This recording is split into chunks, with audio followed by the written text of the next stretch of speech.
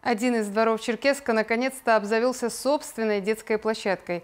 Многочисленные обращения жителей в различные инстанции с просьбой установить обещанное привели к тому, что у юных горожан и людей старшего возраста спустя три года появилось место для отдыха. Подробности в сюжете корреспондента Артура Мхце. Спасибо э, за активность э, жителям этого дома, потому что вот нам надо занимать активную жизненную позицию. Еще в начале текущего года эта территория в центре Черкеска напоминала скорее полигон для тренировок на выживание, чем детскую игровую площадку. А ведь пару лет назад казалось, что двор по Советской 73 быстро приведут в порядок. В 2021 жильцы дома попросили депутатов республиканского парламента помочь им в благоустройстве, тем более, что рядом на тот момент не было никакой альтернативы. В итоге народные избранники выделили 2 миллиона рублей на установку новой детской площадки. Мэрия региональной столицы нашла подрядчика, который сразу взялся за дело.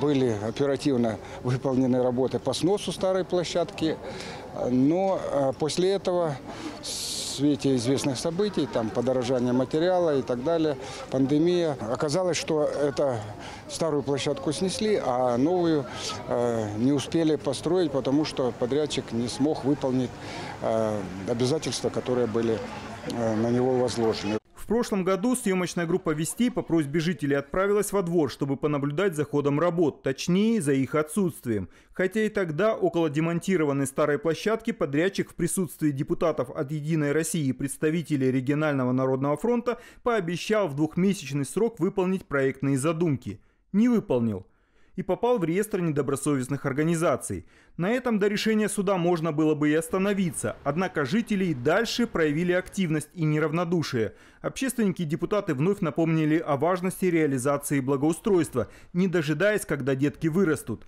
Власти Черкеска изыскали возможность как можно скорее подарить горожанам праздник мэрией муниципального образования города Черкеска э, было выделено дополнительное финансирование из э, местного бюджета, в связи с чем уже э, были реализованы работы по благоустройству данной площадки. На сегодняшний день работы все завершены, сделано много дополнительных работ. Это вот площадка под баскетбол, установка фонарей, освещение. Как мы видим, приняты нестандартные цветовые решения данной площадки. Третий для данной площадки подрядчик за два месяца завершил все, что требовалось. И теперь у жителей под окнами появилось место, где хочется проводить свободное время. Мы очень рады, что построили наконец-то площадку. Мы все этого долго ждали очень.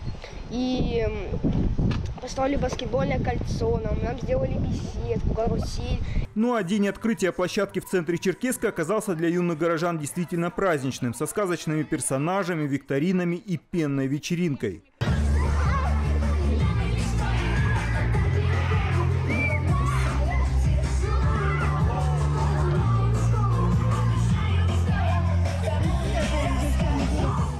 Артур Мухце, Вести, Карачаево, Черкесия.